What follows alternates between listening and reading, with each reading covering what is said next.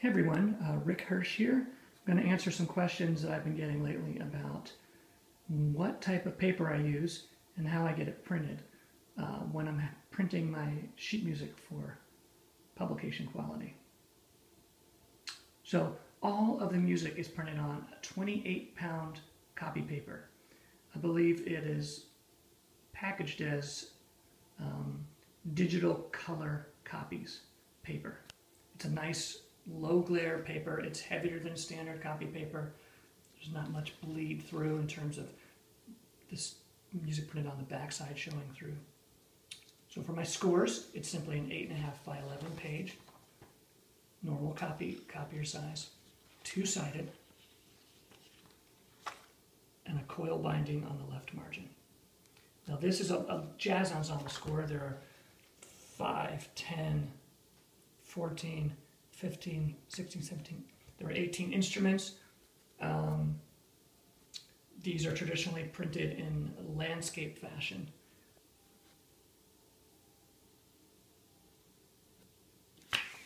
The sheet music is also printed on the 28 pound white paper.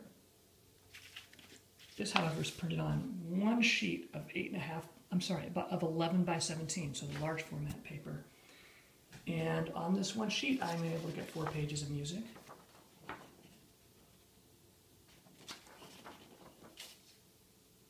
Um, in this case, the way the page turns work out, I've got page one and two here.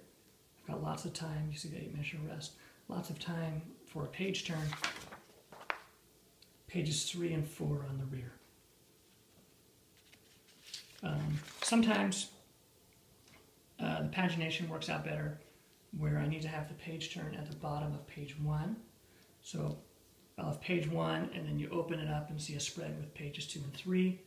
Another page turn at the bottom of three takes me to four. Um, again, just whatever serves the page turns best, honestly, is what I do. If I have a piece of music a part that's going to be more than four, four pages. Simply, it's just printed on multiple pieces of the 11 by 17. So this piano part, yeah, I don't know if you can see kind of by my hands. This is basically two, only two pieces of paper. Okay? And this piano part was six pages long. So I got a blank page at the end. So it's two pieces of the 11 by 17 paper stapled. The um, machine, which I believe is just a Xerox copy or a Canon or something that uh, the guy at my print shop uses, automatically folds, automatically staples. Um, so that's all good. The only piece of paper I use that is not 28 pound color, color copy paper is this cover. And this is just a piece of 11 by 17 ivory cardstock. You can use whatever color you want. Um, I like it's ivory, it's fine for me. Um, so essentially, I design a one page, eight and a half by 11, just standard letter size cover. It's a PDF, and it automatically just prints on this one, I guess on the right half of the page. It's folded. I have a nice cover.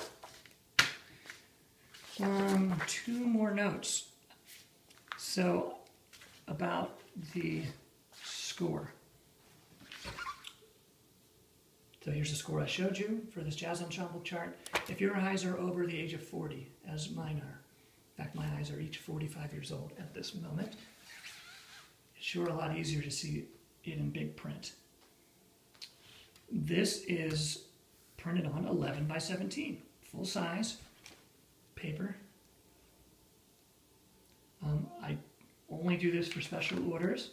It's more expensive to print on the large paper. Got a, it also has a coil binding, and it's also more expensive to ship because it doesn't fit. It doesn't fit in a small envelope. Okay.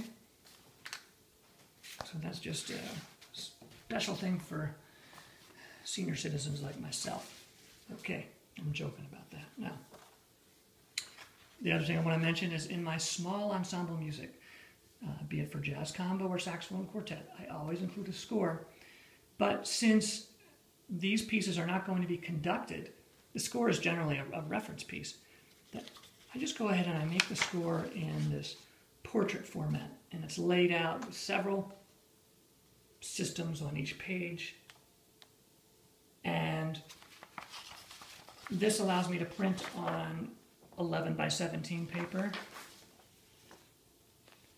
which means I don't have to pay for a coil, because that's a dollar or two for each score, and it makes the whole package flatter, so when I ship it out to a customer, it fits in an envelope. I'm more likely to fit more saxophone quartet tunes in one envelope than I am jazz ensemble. Of course, the jazz ensemble has more parts to it, but it also has the coil score, which does add bulk. Well, if you have any questions, shoot me a note. Let me know. Good luck.